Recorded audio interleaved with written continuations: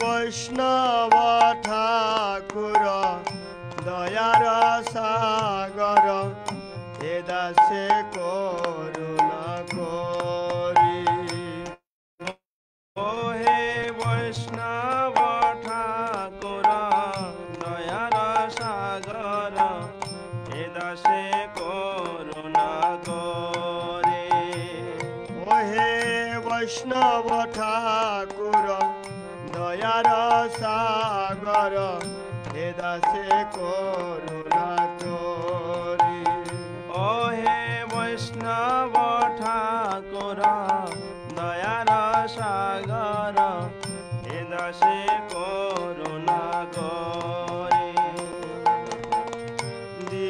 পদ ছায়া শ্রদ হে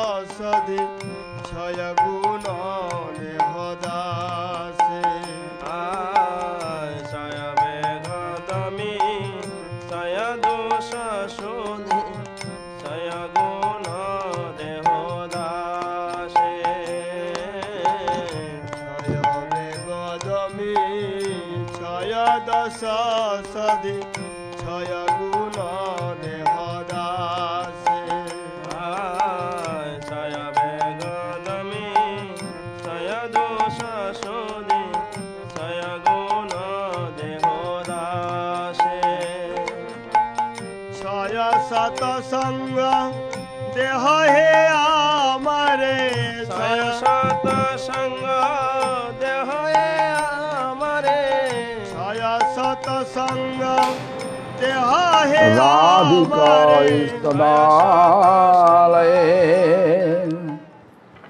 कृष्णाय कृष्णभक्ताय तद्भक्ता नमो। नमः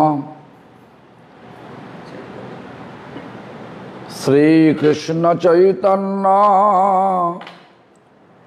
প্রভু নিত্যানন্দ শ্রী অদ্বৈত গদাধর শিবাসাদি গৌর ভক্ত বৃন্দ হরে কৃষ্ণ হরে কৃষ্ণ কৃষ্ণ কৃষ্ণ হরে হরে হরে রাম হরে রাম রাম রাম হরে Hare First of all, I offer my prostrated obeisance to the lotus feet of my beloved spiritual master, His Divine Grace, D'abord, j'offre l'hommage au Srila Seigneur Bhakti Pramod envers Puri Goswami Thakur, mon maître spirituel adoré, Srila Bhakti Pramod. and offer the same to my His Divine Grace, Ainsi qu'à mon grand maître spirituel, sa divine grâce, Srila Prabhupada Bhaktisiddhanta Saraswati Thakur.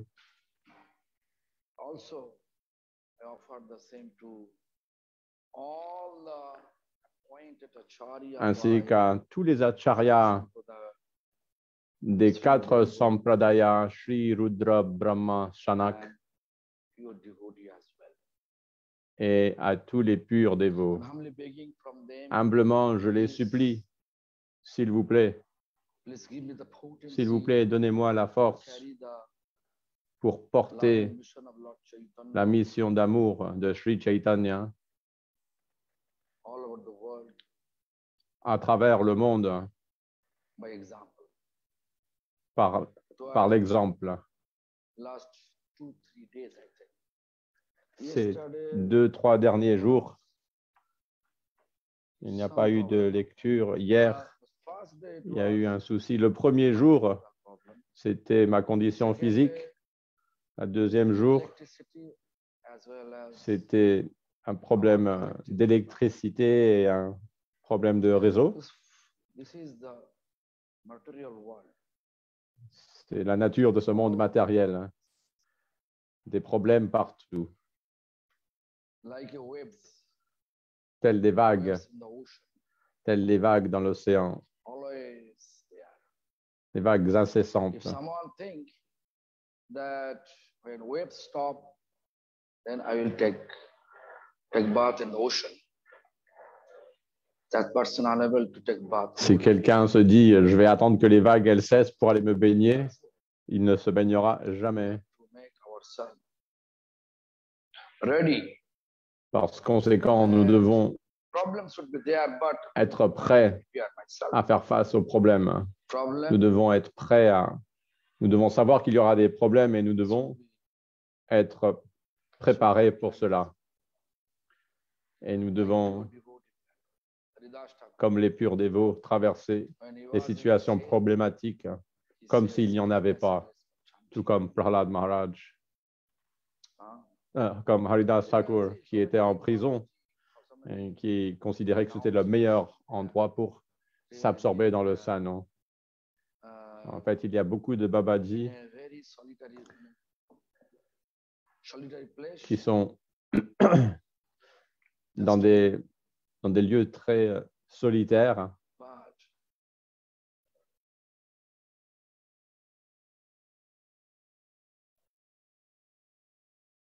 they are, but they are happy. They're begging Madhukuri ils sont très heureux, ils, vivent de, du Madhukuri. Madhukari, ça veut dire la mendicité, mendicité monastique. Même moi, j'ai pratiqué cela, j'étais tellement heureux quand je faisais cela. Laissez-moi retrouver quel chapitre, quel verset où nous avions arrêté la dernière fois. Il y avait trois jours de pause.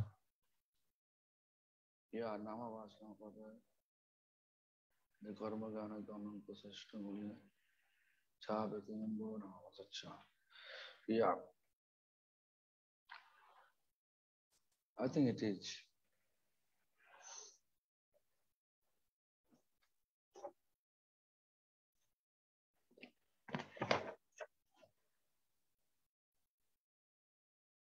आवाज देवी का हाँ है निम्बो छाया अच्छा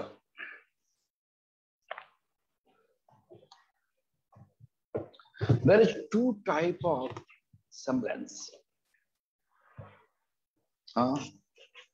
Shadow, Chaya Namabhash, Deux formes de Namabhash. reflection. Page 109, 109 dans la Harinam Chintamani. Deux formes de Namabhash, l'ombre et le reflet. Je, pense que j'ai déjà passé ce sujet, mais c'est pas grave, nous pouvons revoir hein, ce sujet. Verset 56, Abhash Dvividha hoy, Pratibimba Chaya, Shadhabhash Dviprakar Shabatavamaya. Chaya Shabda Mase Chaya Chaya Shadhabhashe Chaya Namabhashe hoy, Shei Nama Bhashe Jiver Shubha Prashavaya. Abhash veut dire, veut dire le, une, le semblant. Il y a deux formes de semblant, l'ombre et le reflet.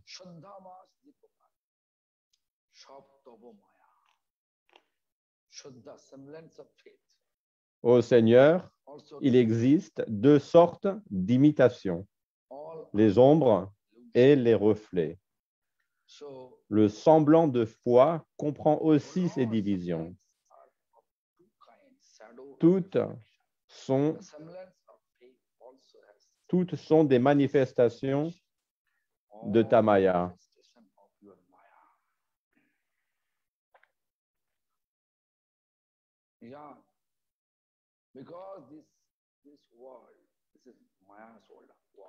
Oui, car ce monde, c'est le monde de Maya.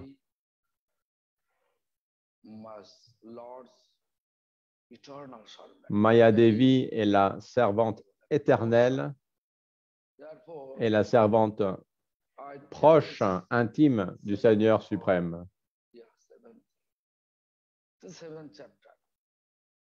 There is Je crois dans le septième chapitre de la Bhagavad Gita, Krishna explique. Mama Maya Duratyaya, Devi Esha quality. Gunamai veut dire pleine de qualité. Krishna décrit Maya Devi en disant qu'elle est pleine de qualité. Oui, évidemment, puisque Maya Devi, elle suit les ordres du Seigneur à la trace. Maya- whatever- Quel que which purpose, Lord, les services dans lesquels le Seigneur l'engage, elle, elle les accomplit parfaitement. Et nous qui sommes venus ici avec pour but de servir le Seigneur, mais nous l'avons complètement oublié. Et nous pensons de nous-mêmes que nous faisons du service pour le Seigneur. Et nous nous plaignons lorsque nous nous trouvons dans des situations problématiques. Et nous en concluons qu'il n'y a que ça ne sert à rien de servir le Seigneur si c'est pour se retrouver dans des problèmes. Mais il nous faut regarder, observer quelle est notre, notre dédication. Notre dédication n'est pas complète.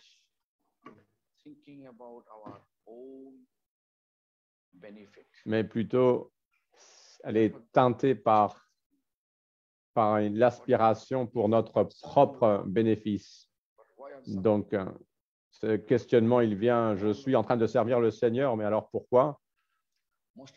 J'ai quand même des problèmes dans ma vie Beaucoup de dévots ont ces questions. Je chante depuis tellement longtemps et je ne ressens rien.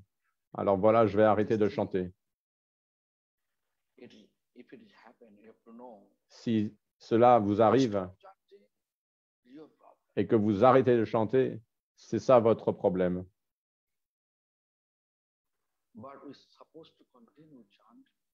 Mais on est supposé continuer, continuer notre chant et continuer le service en gardant un équilibre, un équilibre adéquat entre nos engagements spirituels et nos responsabilités matérielles.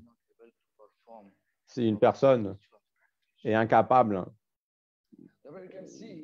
d'accomplir ses responsabilités matérielles correctement, il sera aussi incapable d'accomplir ses engagements spirituels. Comme always- Govinda, le serviteur personnel de Mahaprabhu, il suivait tous les ordres de Mahaprabhu, quels qu'ils soient. Jamais il se plaignait. Jamais il n'a dit, oh Mahaprabhu, tu m'as, services. tu m'as dit de chanter tant de, tant de noms, mais j'ai tant de services. Comment c'est possible? Non, jamais il ne s'est plaint de ça. Srila Saraswati Thakur Prabhupada, il engageait ses disciples avec d'innombrables services. everyone perform properly, then they have no time for sleep. They have no Le- time for C'était tel que s'ils étaient, s'ils devaient accomplir leur service parfaitement, il aurait été impossible pour eux de, se reposer, de compléter le nombre de leurs tours, comme mon maître spirituel qui était engagé comme l'éditeur du magazine de la Gaudia. Dans ces temps-là, dans ces temps-là, il n'y avait pas de- d'électronique, donc tout se faisait à la main. Il n'y avait pas de machine pour enregistrer les paroles. On ne pouvait pas revoir les, les paroles qui avaient été dites pour euh, les éditer. Alors, Srila Gurudev, mon maître spirituel, écrivait à la main,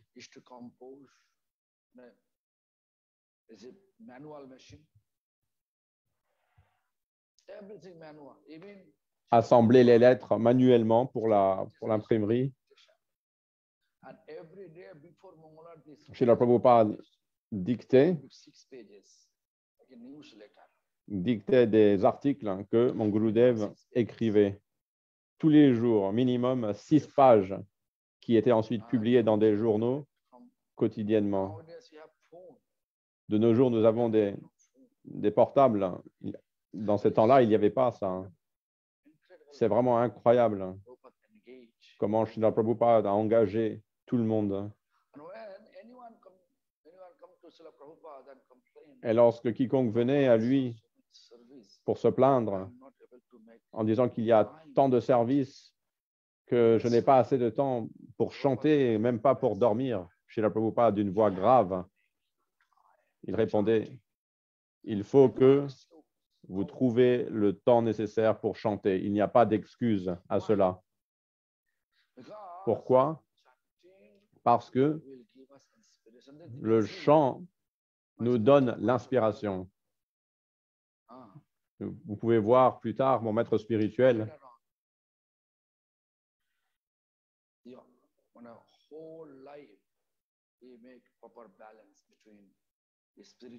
toute sa, toute sa vie durant, il a maintenu un équilibre entre toutes ses, ses responsabilités spirituelles.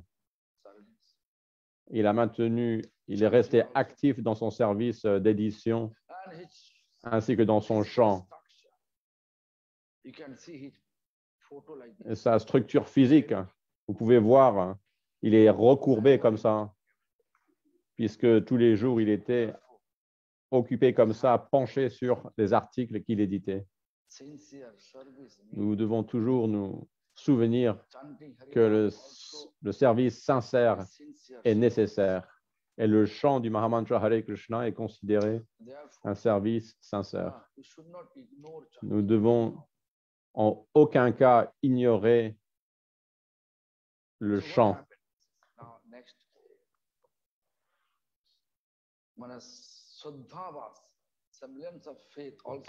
Donc, dans la deuxième ligne du verset 56, hein, Shraddha Bhash, of Lord.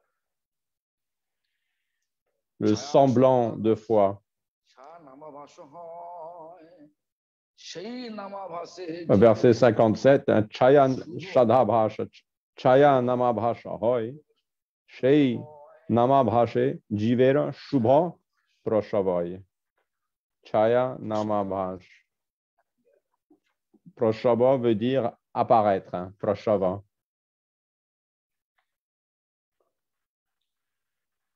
Chaya Shraddhavas. Shraddha is not complete. There's avas. Chaya Shraddha Bhash veut dire un semblant de foi. Parfois, certaines personnes viennent à nous avec une foi qui n'est pas mature, hein, mais ils ont quand même une, de la foi.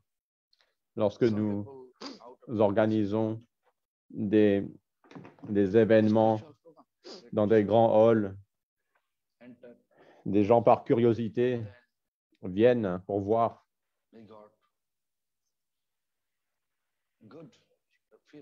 et en participant à ce- cet événement spirituel, ils, ont, ils se ressentent bien et ce sentiment reste avec, avec lui.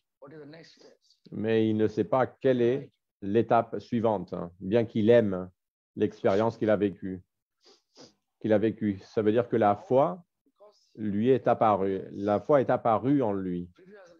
La raison est que il, était, il avait déjà un acquis spirituel, un crédit uh, euh, pieux spirituel qui était latent en lui, ce qui lui a permis de manifester de la foi, un semblant de foi. De la même manière, lorsque vous chantez le Mahamantra, au début, votre esprit sera distrait. Lorsque vous débutez, vous commencez à chanter, le mental est distrait. Et c'est graduellement que le mental se stabilise et se fixe sur le Saint-Nom. mind, the material stuff. Au point où?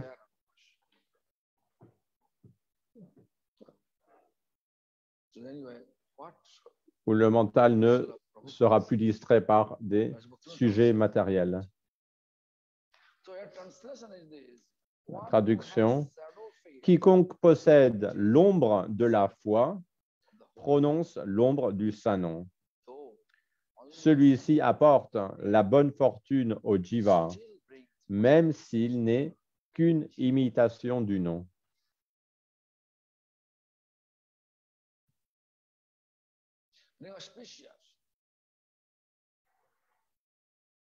De bonne fortune. Shubha veut dire de bonne fortune.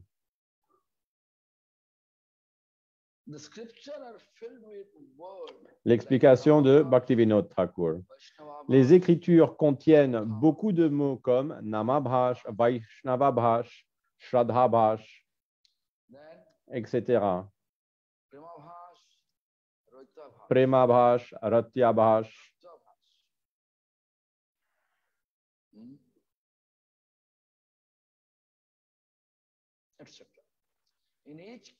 Dans chaque cas,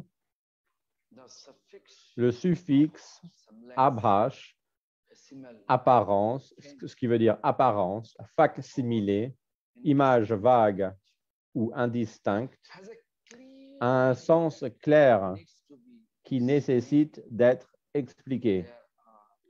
Il existe en fait deux catégories d'abhash. true Ressembler à une forme véritable, Swarupabhash, and et ressembler à un reflet, Pratibimba Bhash. Pratibimba Bhash. Swarupa Bhash désigne une manifestation restreinte d'un objet par rapport à ce qu'il est dans toute sa splendeur. Par exemple, la façon dont le soleil apparaît vaguement à travers les nuages avec une lumière diffuse et limitée.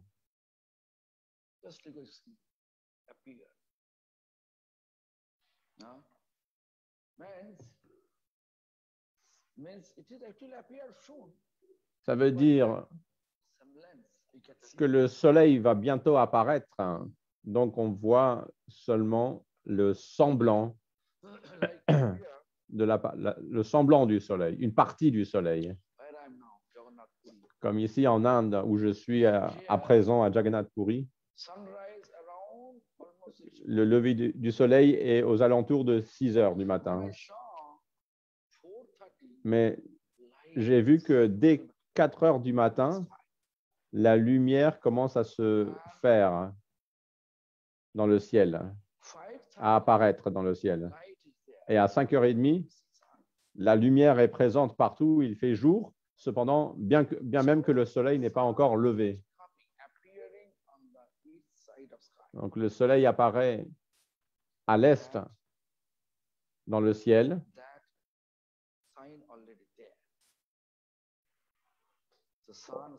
à un moment où la lumière est déjà présente. Ensuite, Pratibhimbabhash, d'autre part, indique une expression déformée de l'objet original. this is the kind C'est la sorte, c'est la sorte d'abash mentionnée dans le dicton suivant. suivant. Mrasho Abhashas tu mrisha buddhir avidya avidya. Veut dire une, édu- une éducation erronée. Karyam uchyate. The avidya, like which study, which education, Avidya se réfère à l'éducation, l'étude qui nous éloigne du Seigneur. La traduction est une imitation est une fausse compréhension de quelque chose. Et c'est le produit de l'ignorance, comme l'apparition déformée, comme l'apparition déformée du soleil qui se reflète à la surface de l'eau. Like you can see, once Lord Chaitanya sitting in the bank of Ganga, Une fois, le Seigneur Chaitanya était assis au bord du Gange. C'était une nuit où la lune était pleine. Il était en compagnie de ses élèves.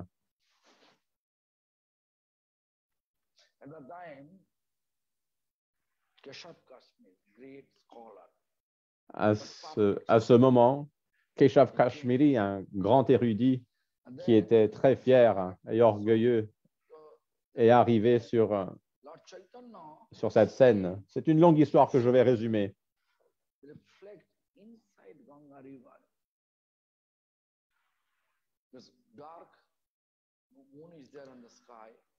Et Sri Chaitanya expliquait la réflexion, décrivait la réflexion de la lune sur la, surface de l'eau du Gange. La surface du Gange bougeait petit à petit par le vent et il semblait que la lune dansait Scenario dans ce reflet. Et donc, Sri Chaitanya. Mahaprabhu a demandé à Keshav Kashmiri de décrire hein, cette scène. Donc, il s'agit de cette réflexion-là. La lune est là dans le ciel, immobile. Vous voyez au ciel, elle est immobile. Mais ici, dans le reflet,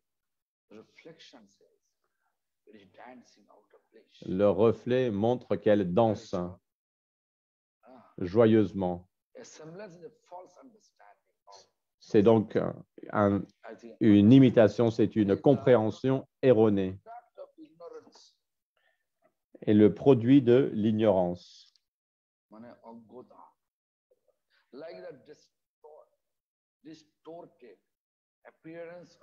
Comme l'apparition déformée du soleil qui se reflète à la surface de l'eau. Tant que le soleil du Saint-Nom est couvert par le nuage de l'ignorance et des tendances impies du jiva, la lumière perçue est pâle et faible.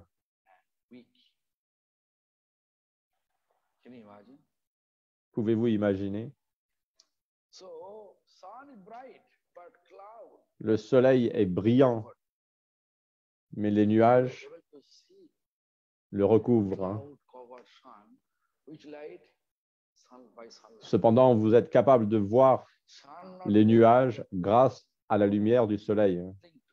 Il n'y aurait pas le soleil, vous serez incapable de voir les nuages. Tout serait So sombre.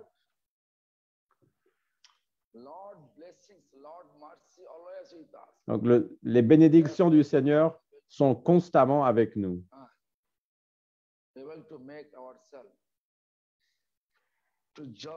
C'est pour ça que nous sommes dans la capacité de discerner ce qui est bien et ce qui est indésirable. an illusion covered us. We are not able to see like Paramatma. Mais l'illusion, nous, lorsque l'illusion nous recouvre. Nous sommes- incapables de réaliser. Comme le paramatma, nous pouvons dire que le paramatma est là, assis à côté de nous, mais nous sommes incapables de le voir. Un athée ne ressent pas la présence de Dieu dû au recouvrement du nuage de l'ignorance. Il ne se rend même pas compte qu'il bouge, qu'il parle et qu'il arrive à agir simplement grâce à l'énergie que lui procure le Seigneur. Si le Seigneur retire cette énergie, ce corps devient sans vie. Nous, serions incapables d'être assis et de communiquer entre nous. Il faut être très attentif et réaliser à quel point le Seigneur est miséricordieux envers nous. Et toutes nos actions devront être offertes à lui. Ce n'est pas une question I want to control But d'être everything d'un gouvernement. can see C'est pas le gouvernement qui contrôle, comme parfois les Américains pensent c'est eux ou les Chinois pensent que c'est eux qui contrôlent le monde. Mais le Seigneur suprême, Krishna, 30 minutes earthquake. il suffirait de quelques secondes pour lui de réduire à néant tout ce monde, comme un tremblement de terre qui réduit à néant des immeubles gigantesques en, quelques- en 30 secondes, ce qui réduirait à néant tant de projets grandioses. Par conséquent, nous devons être très attentifs avec toutes nos activités dans notre vie, faire en sorte que toutes nos actions soient dirigées vers le Seigneur. C'est ainsi que notre vie sera un succès. Sinon? Nous, devrions, nous devrons faire face à l'échec. Pourquoi? Parce que si, à la fin de notre vie humaine, nous n'avons pas, nous n'avons pas été capables de fixer notre pensée sur le Seigneur, nous devrons alors encore nous réincarner à travers différentes formes. Cela pourrait être dans une forme animale ou encore végétale ou un reptile, un reptile ou un, un poisson ou des oiseaux. Ce sont des formes de vie extrêmement pénibles. La conscience, elle est tellement recouverte dans ces formes de vie, elle n'est pas éveillée comme l'arbre. L'arbre, l'âme qui est dans l'arbre d'un, l'âme qui est dans le, le corps d'un arbre, elle est extrêmement recouverte.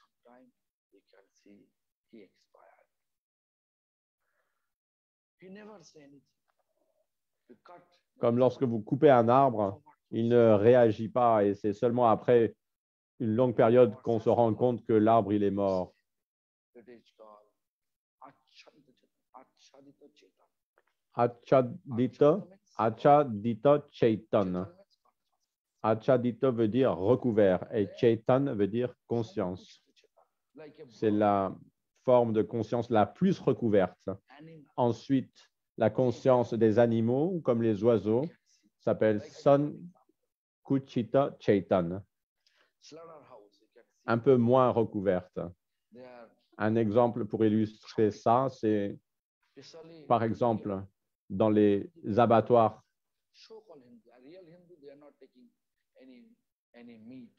comme en Inde.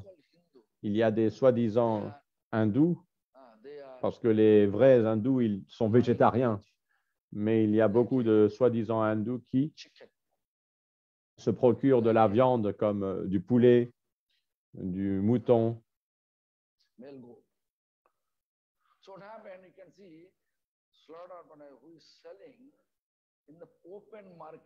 Et en Inde, ils gardent les, les chèvres ensemble, les chèvres, des animaux vivants, des, des poules vivantes.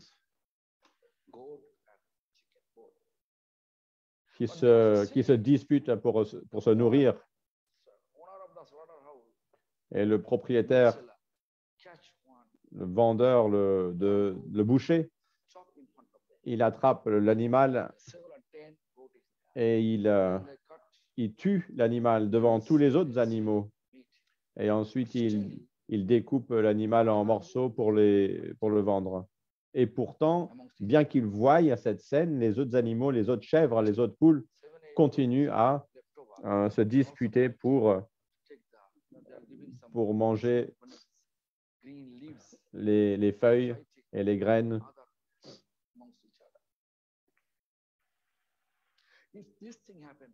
Si vous, vous étiez dans la même situation, je pense que vous ne ressentirez plus aucune faim. Pourquoi? Parce que votre conscience Sankuchita est bien élevée. Mais San Kuchita Chaitan veut dire une conscience très faible.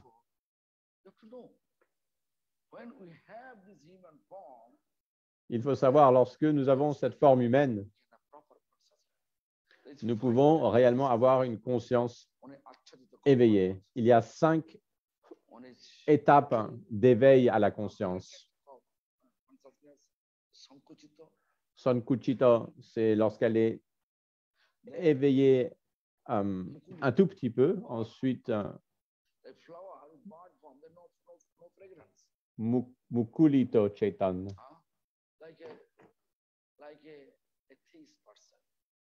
comme une fleur qui n'a pas, qui n'a pas éclos, elle n'a pas de, elle n'a pas de parfum.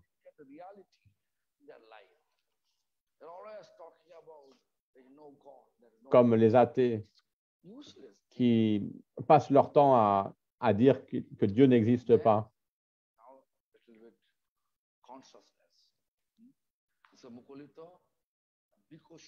Ensuite.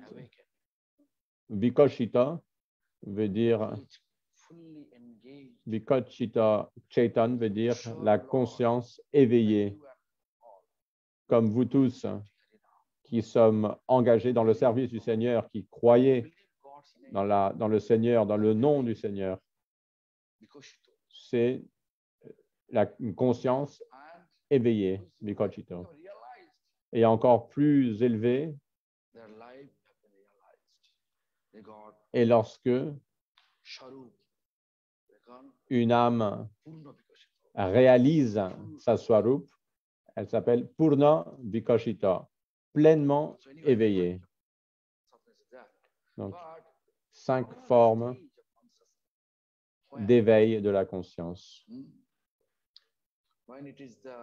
Quel est notre stade d'éveil?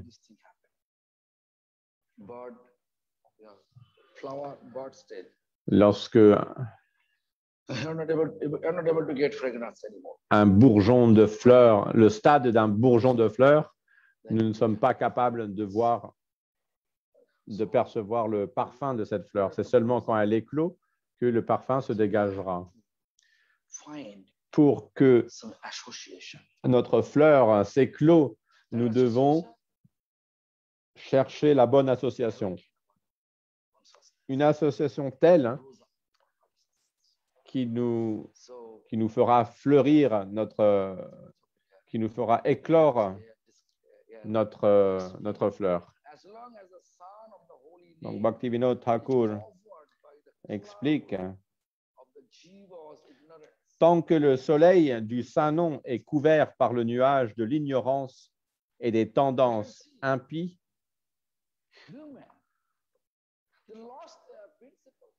nous pouvons observer que les êtres humains ont perdu leur principe. You can see Ils trompent les autres. Dans cet âge de, de dé- de déception, le Kali Yuga, chacun essaye de tromper les autres, de tricher. L'employeur essayait de tricher ses employés, l'employé essayait de tricher son employeur, les enseignants essayent de tricher leurs élèves, les élèves essayent de tricher leurs, professeurs, même dans une famille, une, une femme triche sur son mari, son mari triche sur, sa, sur sa, son épouse, les enfants, les parents trichent entre eux. C'est l'âge de la tromperie.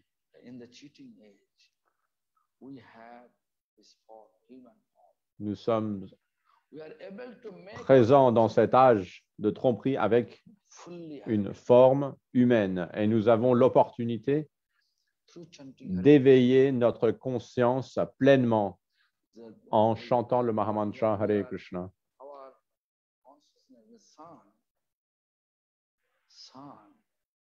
life of ah, is covered by cloud. Mais la lumière du soleil est recouverte par les nuages et nous ne sommes pas capables de réaliser que ce sont les nuages qui, qui nous cachent le soleil et nous ne nous disons pas il faut que je retire ces nuages. Nous pensons que le soleil, que c'est la forme naturelle du soleil, que c'est la lumière naturelle du soleil.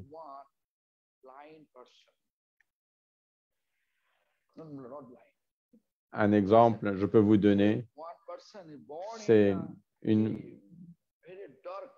personne qui est née dans une cave et qui a grandi, a vécu dans les ténèbres. Ses yeux sont fonctionnels. et tout ce qu'il a vu, tout ce qu'il a pu voir dans cette cave, c'est grâce à une petite lampe, Une lampe à pétrole. college, We used to read with kerosene lamp. Lorsque j'habitais dans Hein? mon village, je- je- on lisait tous aussi avec ces lampes de kérosène. Une petite lampe qui a un petit réservoir de kérosène et il y a une petite mèche qu'on allume qui nous permet de voir et de lire. Là où j'ai grandi dans, les villages, dans le village, c'était comme ça. Bien sûr, dès que j'ai eu 5 ou 6 ans, nous avons eu l'électricité.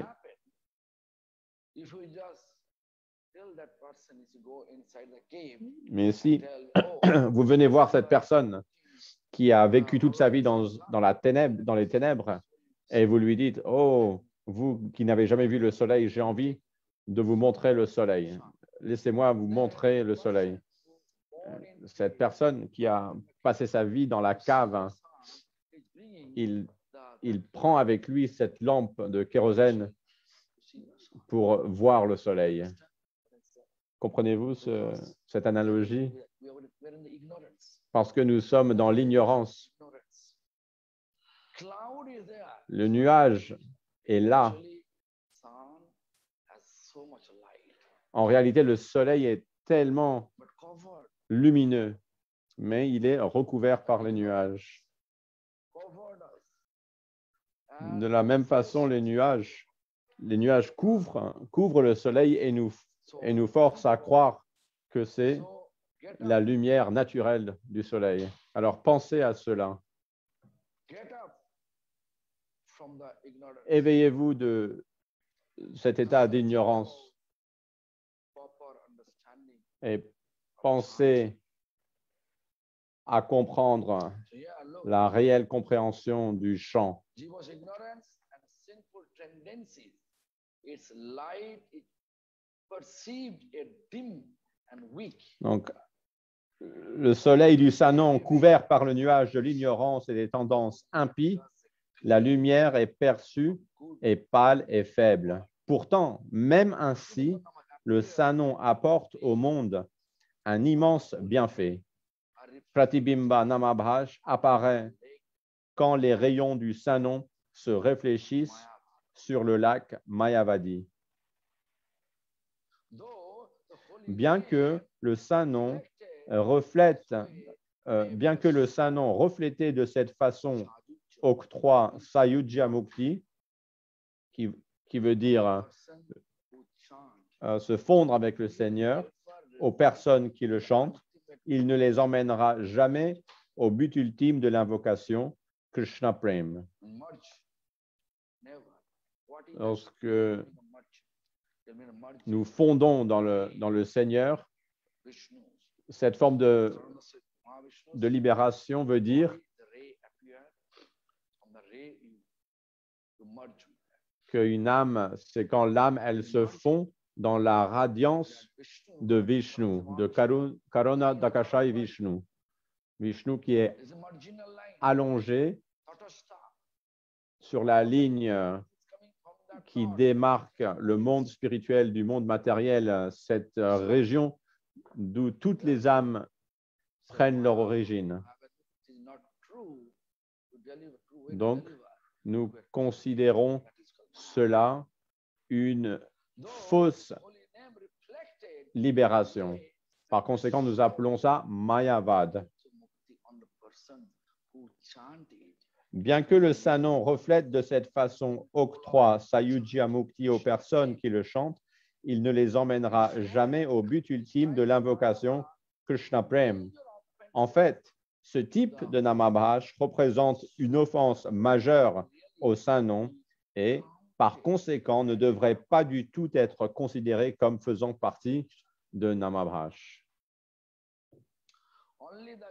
Seul le Chaya Namabhash peut être subdivisé en quatre catégories de Namabhash décrites précédemment. Les Écritures glorifient Namabhash en général, mais condamnent le Pratibimba Namabhash. between La véritable différence entre les deux formes de Namabhash est la suivante. L'ombre du saint nom est le résultat de l'ignorance, alors que le reflet du nom est le résultat d'une erreur délibérée. Ce dernier constitue une grave offense qui bloque le développement de la dévotion. So this is the, the translation I am just Je suis simplement en train de vous lire la traduction.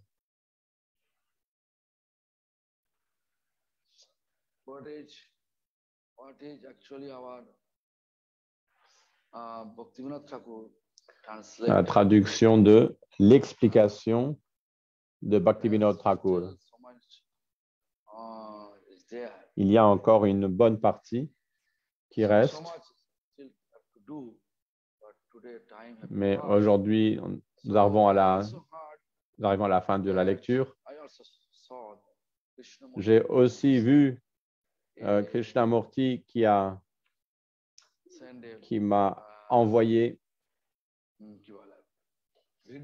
qui m'a envoyé une vidéo un enregistrement avec euh, beaucoup de dévots comme euh, Revati. J'ai vu plusieurs dévots de là-bas, spécialement. J'ai vu Maharaj, je ne me souviens pas de son nom. J'ai vu aussi la plupart des dévots de- du sud de la France. They are going to buy a temple. Ils vont acquérir un temple hein, 15,000 euros. et qui leur manque plus que 15 000 euros Get the temple. pour compléter l'achat. À, ce- à cet égard, j'ai approché plusieurs dévots qui sont d'accord pour euh, payer. Je vais appeler Krishnamurti et je vous en parlerai plus. Haribol.